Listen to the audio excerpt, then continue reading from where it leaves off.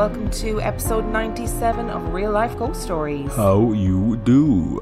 To kick things off this week, we need to thank our newest Patreon subscribers. We would like to thank Lynn Rawls, Kelly Logue, Elizabeth Ashley, Catherine Duncan, Megan Crosswell, Leah Librarian, Rosie Day, Kathy Giles, Disa Turner, Chantel and Amelia Kirby, Brooke and John Hunter, Fiona Haig, Steph Baxter, Mel Howley, Bailey Littleton, Serica, Alex Trustram Eve, Christina Hallam, Ashley Topperwine Brandeski, Sarah Newman, Amber Carpenter, Christine Crease, Sarah Beth Nimmy George, Kimberly Bush, Scherfendurf. Kisa Hargett.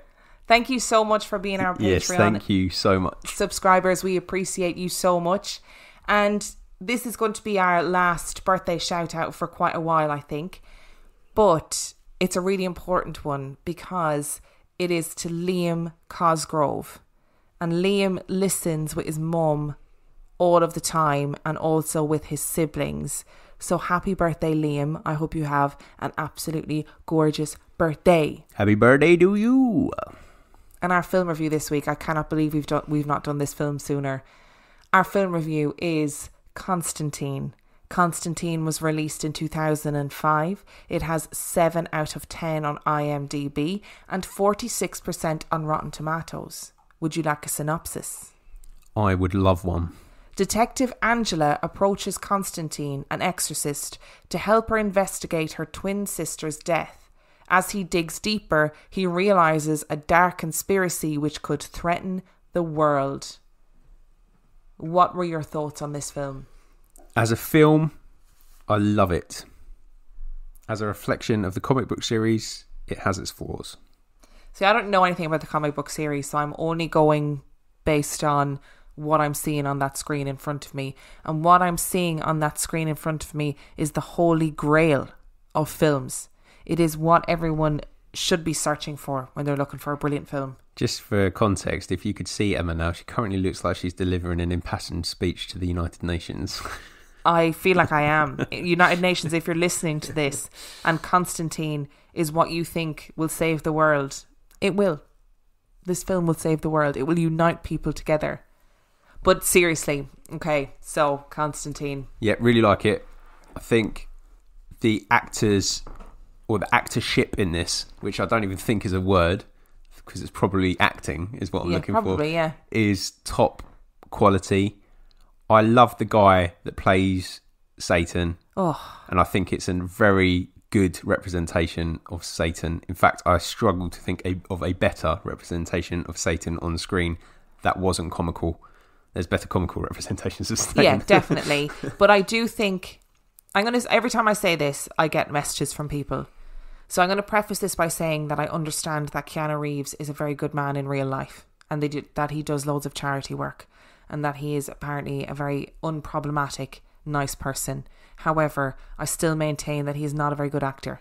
Okay, and I'm I'm sorry. Please don't don't start sending me messages telling me that he's a brilliant actor and that he gives loads of money to charity, I can I can look at those things separately. Okay, I'm aware he's a very good man, but uh, come on, I just I just feel like could there have been a better John Constantine?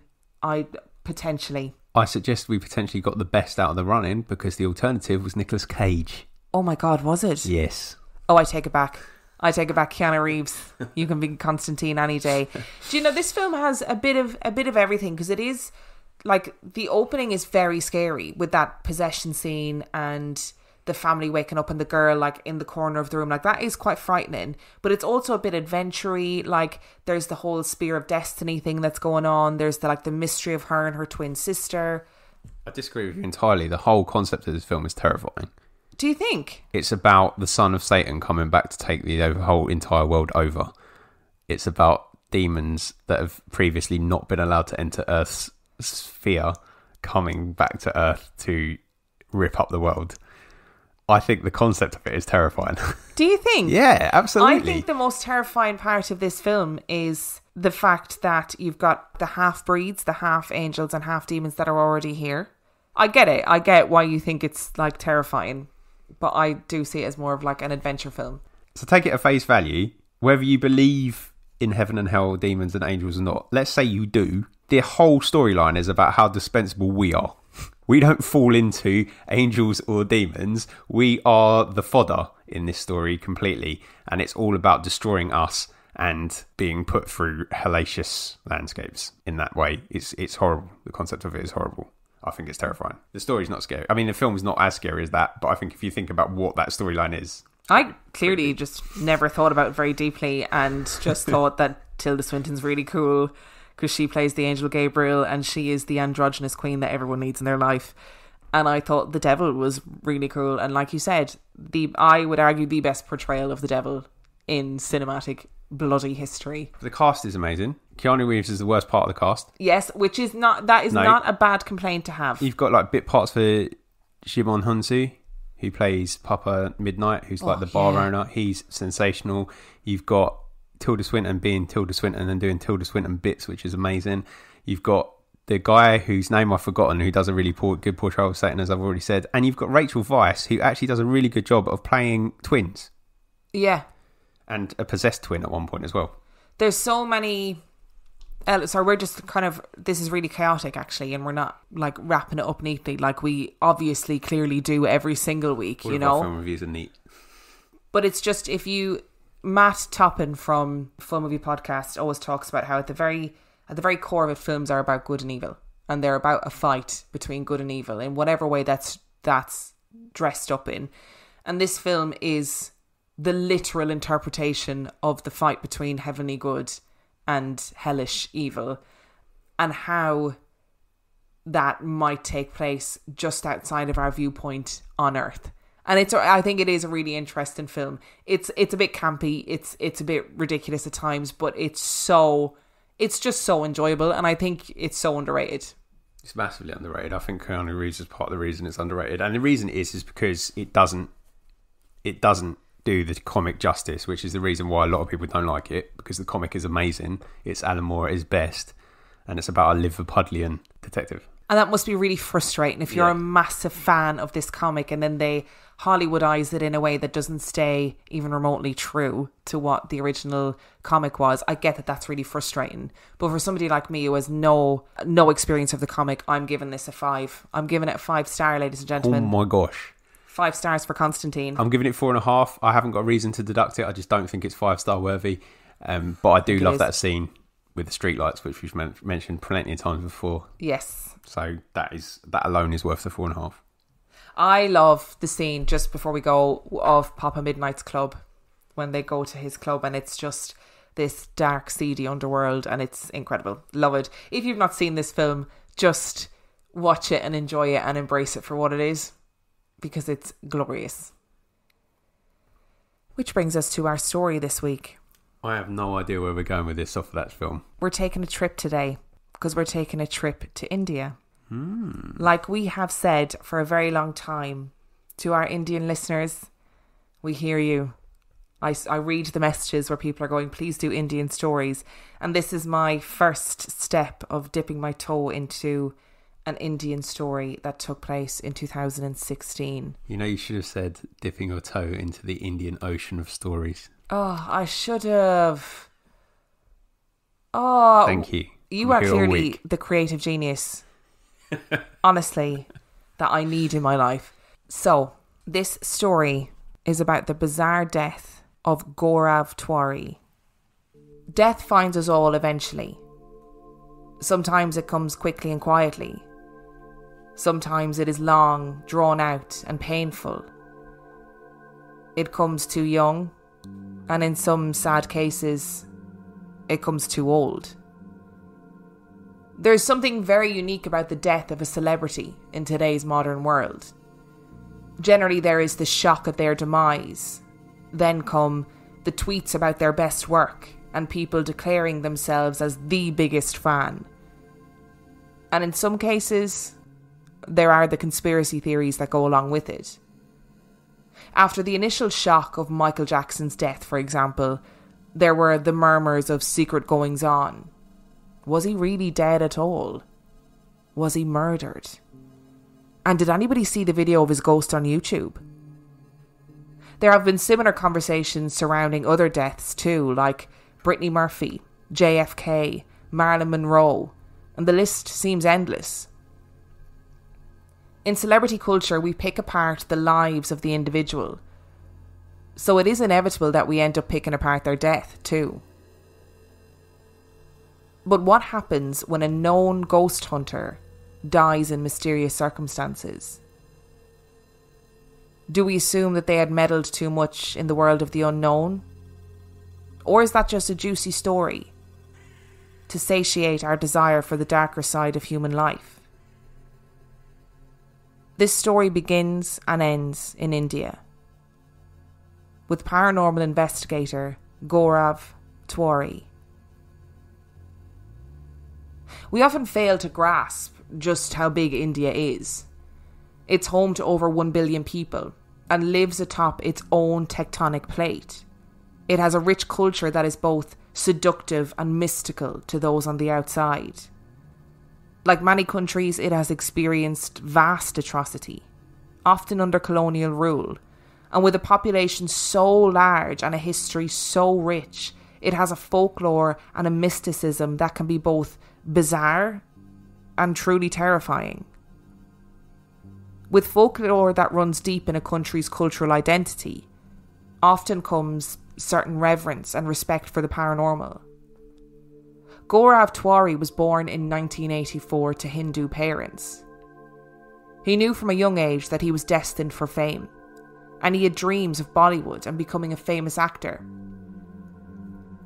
Many of us have those dreams in childhood, and then we outgrow them as time goes on. But Gaurav didn't. He stuck steadfastly to his desire to be an actor and landed some minor roles in TV shows and adverts when he left school. These small roles led to bit parts in feature length cinematic releases, and he felt sure that he was on the cusp of his big break. But as with many who are chasing the dream of fame, it was not to be and Gaurav realised that he probably needed to start considering other career options. His other passion was aircraft. And strangely, it would be his pursuit of this passion that would lead to his eventual fame and success.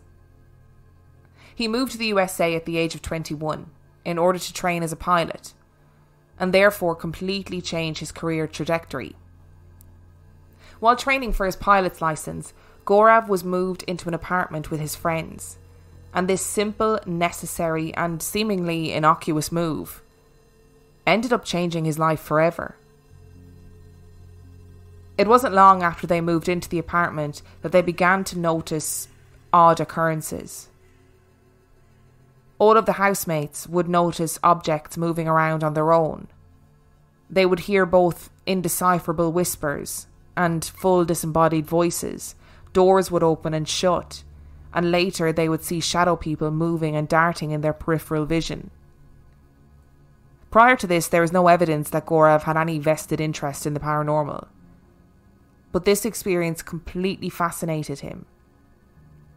While his housemates lived in fear, it seemed that the experiences had a profound effect on Gaurav, and he had an insatiable curiosity to try and figure out what was happening in the world that we just couldn't see. He later went on to speak about his experiences on Haunting Australia, a TV show on sci fi, where he was portrayed as a fearless investigator who was well respected in the field. Is there anyone with me who would like to show himself? I would like you to come forward and show yourself to me. I was a person who never believed in ghosts and spirits or any existence of paranormal. I was training to become a commercial pilot in 2006, and I was given an apartment by my flight school. But something happened to me. We started witnessing things like poltergeist activity. We started hearing whispers, and we could not find anyone there who was doing that. It really challenged my belief system. I started looking into paranormal research. And slowly, gradually, I came across so many things in life that could really make me understand about nature of spirits. When I went back to India in 2009, I established India's first paranormal organization called Indian Paranormal Society. Gaurav continued his aviation training while simultaneously trying to rationalize and understand the phenomena that was happening in his home. He eventually passed his training, becoming a fully fledged pilot, and also received certification from the US Paranexus Association as a lead investigator. He went on to become the official Indian representative for the Paranexus Association, and upon returning to India in 2009, he set up the Indian Paranormal Society with the intention of trying to help those whose lives were being negatively impacted by suspected paranormal afflictions. By all accounts, he was a very busy investigator. This was the first official society of its kind in India. And India is a vast expanse with a huge population, and business was booming. At one point, the Indian Paranormal Society was receiving at least 250 emails and 500 phone calls every single day from different people desperate for help. And Gaurav ended up having to hire staff in order to try and meet the demands and the needs of the people.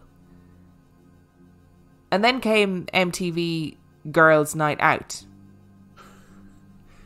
When I first read this part of the story, I was completely confused there seemed to be no conceivable thread between Gaurav starting the Indian Paranormal Society and appearing on an MTV show which sounds like a cross between Geordie Shore and Bad Girls Club. The real mystery of this story might be why in the world MTV named a TV show Girls Night Out when it was actually a very serious show where people returned to the scene of their paranormal experience and recounted it on camera. Because of the overwhelming response to the Indian Paranormal Society, television requests quickly began to pour in for Gaurav. He was young, good looking, he was a paranormal investigator who travelled India helping families in need, and he was the perfect fodder for television. Girls' Night Out opened many doors for Gaurav, and he then appeared on a very popular TV drama documentary series called Bhoot Aaya, where spine tingling real life experiences of ordinary people were explored, and Gaurav and others acted as lead investigators who tried to find rational explanations for the events. To be honest, it really sounds like it was revolutionary, as the point was to find the human psychological reason behind our belief in ghosts and the things that we experience. It ran for 23 episodes, that then led him to join the Haunting Australia team, where paranormal experiences are investigated by a team from all over the world.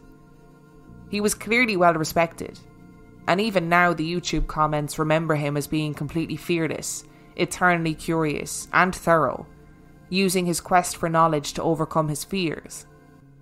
He also at various points demonstrated his other skills, including hypnotizing a colleague who had a morbid fear of horses Eventually, however, the show was cancelled, and Gaurav returned to the Indian Paranormal Society to continue his investigations. He agreed to take a case, which seemed unusually dark. A family living in the Janakpuri neighbourhood of West Delhi had been driven from their home by something malevolent, something that seemed evil. Whatever this entity was, it had committed such extreme acts of violence that the family were not safe to stay at home anymore. On the 6th of July 2016, Gaurav investigated the house, and the next day, he would be dead. When he returned home that night after the investigation, it was about 2 am. And Gaurav's wife, Ariya, was waiting up for him and she was not happy. She was sick and tired of Gaurav's lifestyle and the continuous investigating and travelling around. She just wanted him to have a nice, stable 9 to 5 job so that they could properly settle down and start a family. They were currently living together with his parents, and that night, after the argument, slept in separate beds. The next morning, the pair woke and resolved their differences. They were both frustrated with the fast paced lifestyle and the late nights, but Gaurav was genuinely dedicated to his work. He sat at the kitchen table drinking coffee and answering emails, and at 11am he went for a shower. While he showered, Aria and her father in law were watching television, and they heard a thud from upstairs. Neither of them really took any notice, but after a few minutes, Aria decided to check on Gaurav just in case. As would be expected, the bathroom door was locked from the inside. But she was suddenly gripped with a sense of deep rooted fear as she realised that there was a complete and eerie silence from the other side. There was no shower, there was no water, there was no shuffling. There was no answer to her questions. She knocked. And then she pounded. And eventually, her and her father in law burst into the room to find Gaurav on the floor, writhing and grasping his neck with his eyes bulging. He couldn't breathe, and he was rushed to hospital where he eventually died. Gaurav died with a thin black mark around his neck that was not there before and could not be explained. Some of his friends quickly took to social media to say that he had died of a heart attack, but this was not true. The official medical examination said that he had died of asphyxiation, and the official police statement reported that Gaurav had committed suicide and that he had died by hanging. Except that there are problems with this.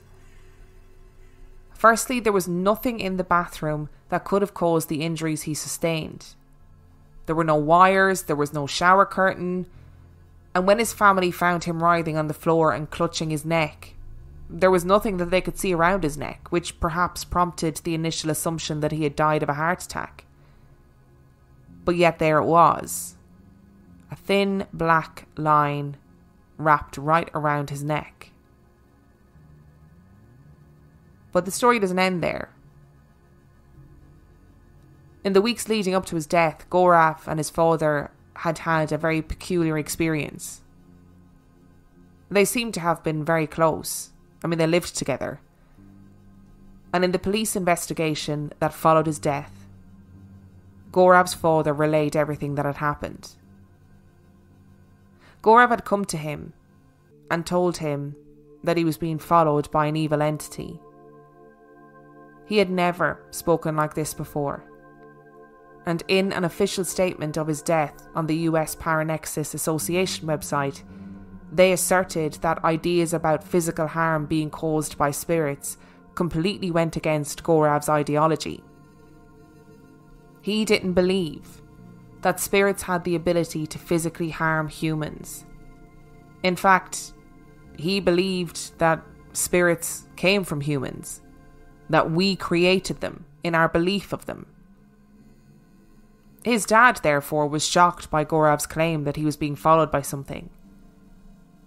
He went on to say that he could feel the presence watching him wherever he went, and he felt as though whatever it was was getting closer to him.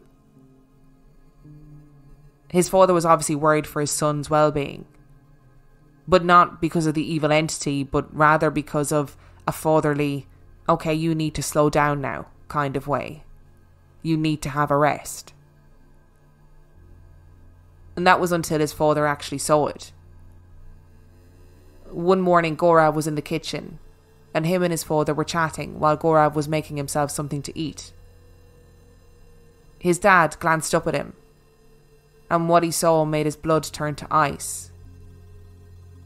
While Gaurav was bustling around, there, not five feet away from him stood a shadow figure, black and looming. His father was so shocked that he could not even speak.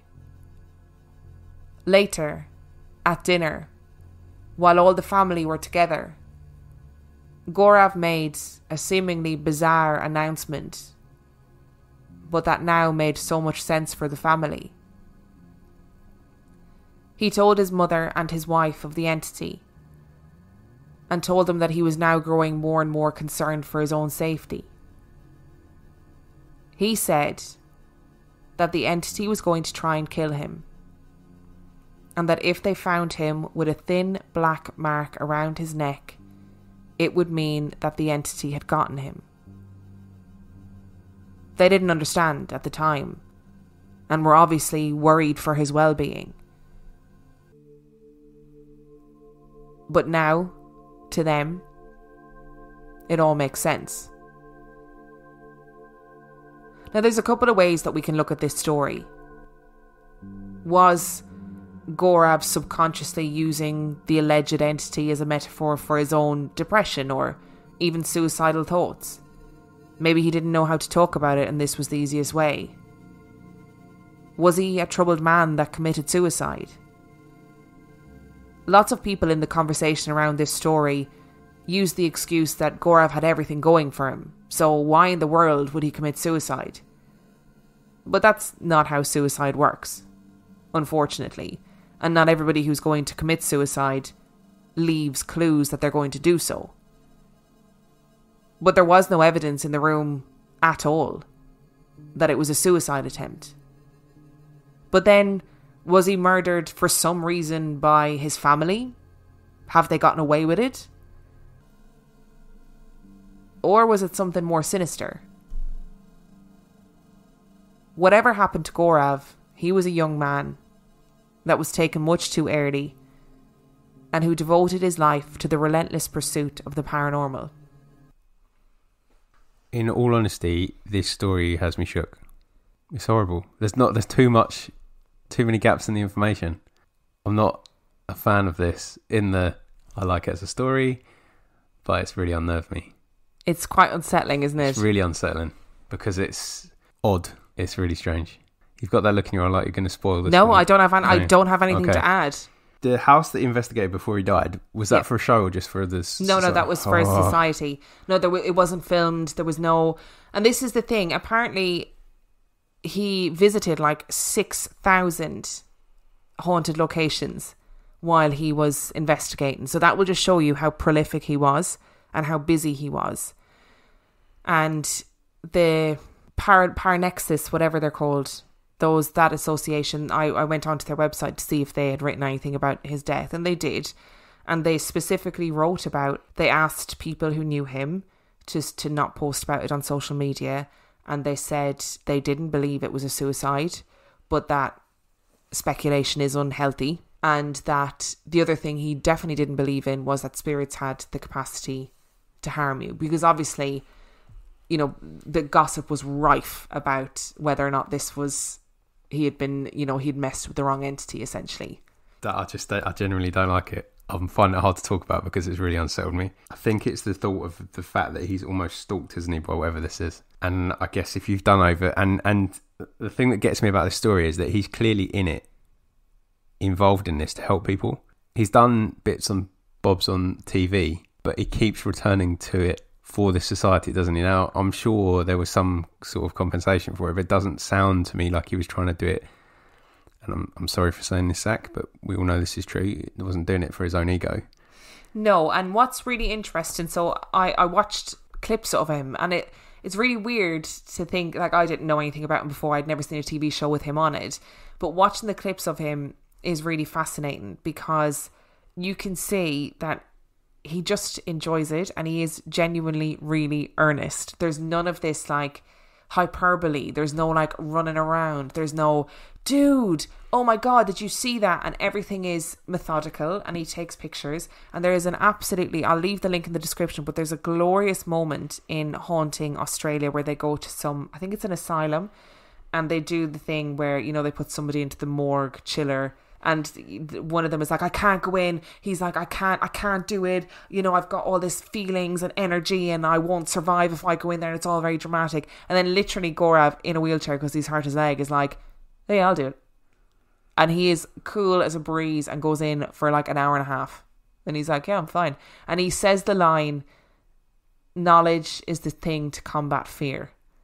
And i was like wow that's really interesting. So i really felt from watching him that it was something that he was genuinely passionate about and wanted to try and understand and wanted to help people.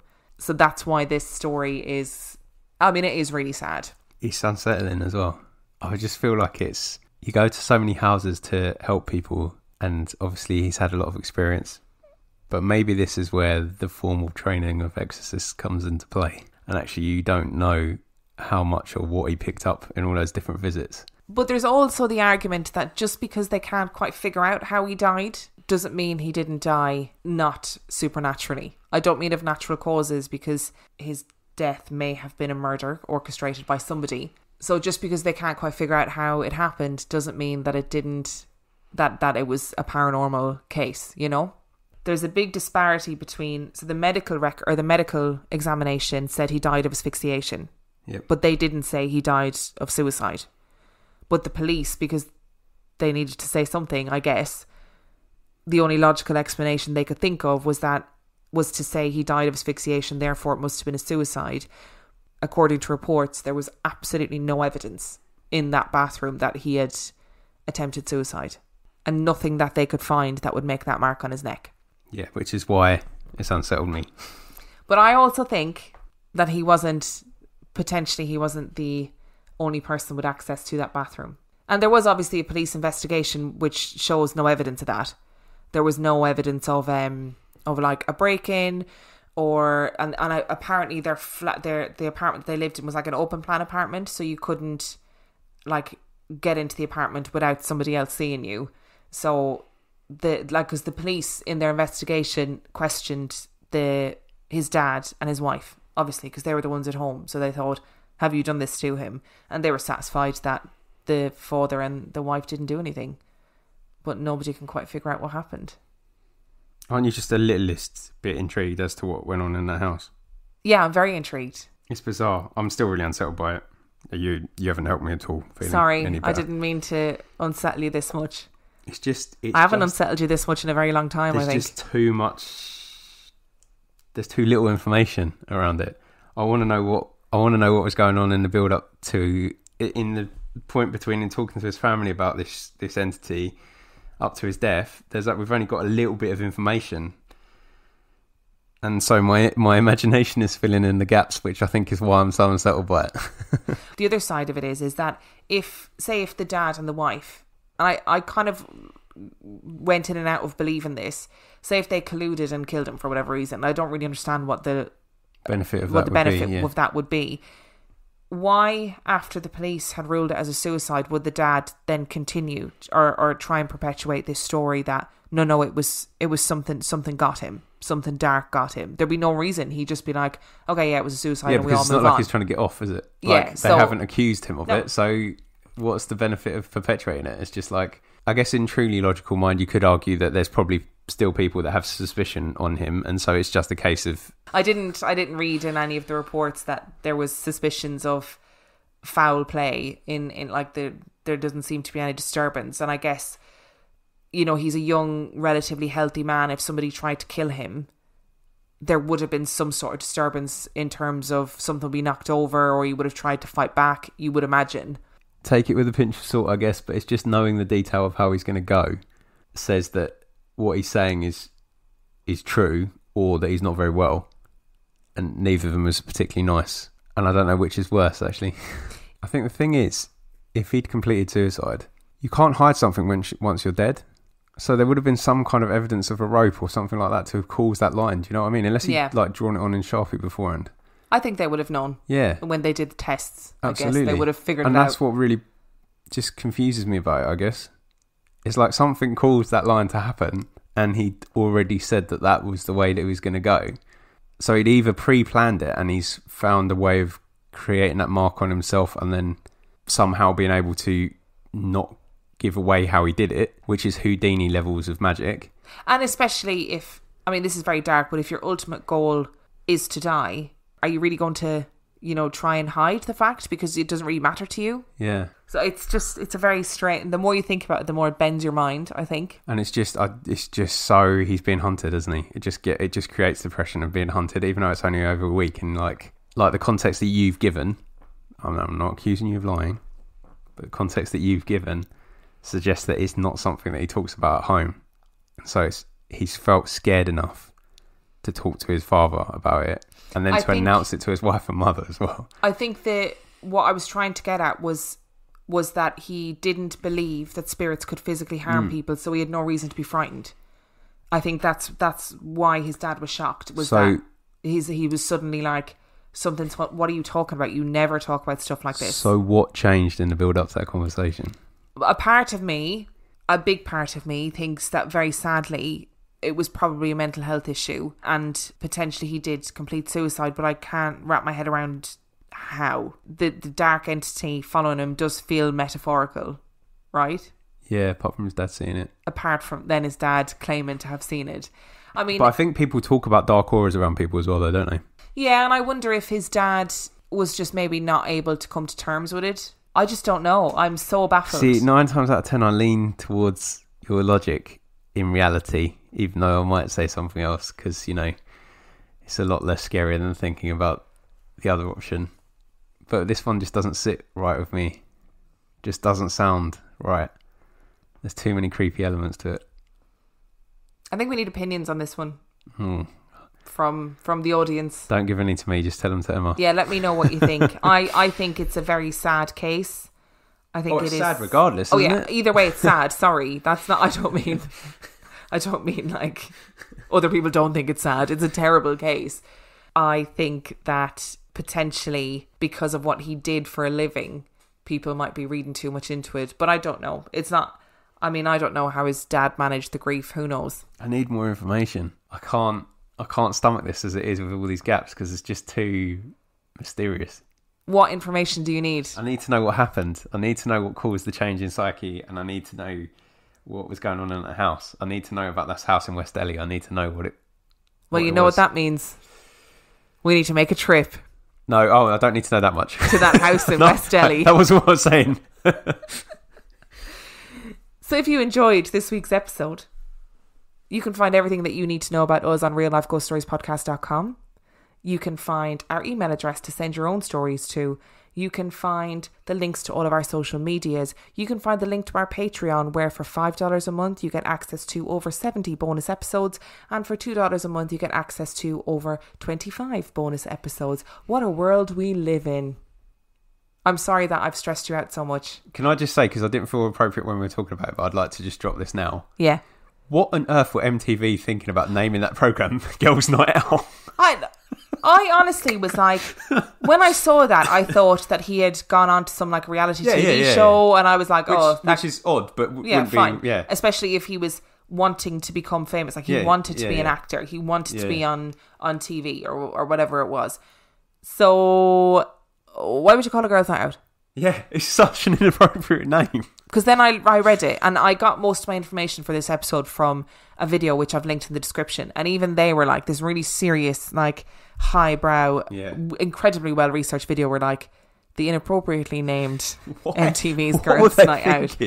It's literally and it's really dark. Like because I looked up the um Bhoot Aaya TV show as well to get a synopsis, and that looks brilliant. Like I was, I was like, I'm here for this TV show because a bhoot, I think it's B H O O T, is like a, a a paranormal, like a folklorish creature from um So I'm sure we've discussed that in from another episode. yeah from Indian folklore, um, and I don't know what the Aaya stands for. So if you were if you're listening and you know, can you can you let me know? But it sounded like a really good TV show, and then it was like MTV's Girls Night Out. What? Did you? And I thought I was like, it was it a dating show? Like, yeah, what was what it? it? But and, No. that would have been fine. Like if he'd, Yeah. if he'd have gone on it and it would have been a reality show, fine. Like even it's a bit bizarre, but you yeah, know, fine. People do it. Like, but why name a show that's about that? I have no idea. Girls Night- I'm gonna have to try and find the show and watch it. I want to speak to the executives at MTV. I need Yeah. to know the decision beyond that. And then it's not even like Girls Night Out where like it was a spoof paranormal thing where they scare groups of girls or something and like you know those like stupid scenarios people set up. Yeah. No, no, it was people recounting their paranormal experiences, going back to visit the place Where and they were telling the story. stiff. Yeah. Yeah, that's What- not an appropriate Doesn't make sense. Oh, Doesn't make sense. So ridiculous. I don't I don't know. I didn't understand it. And on that note, we shall see you next week. bye.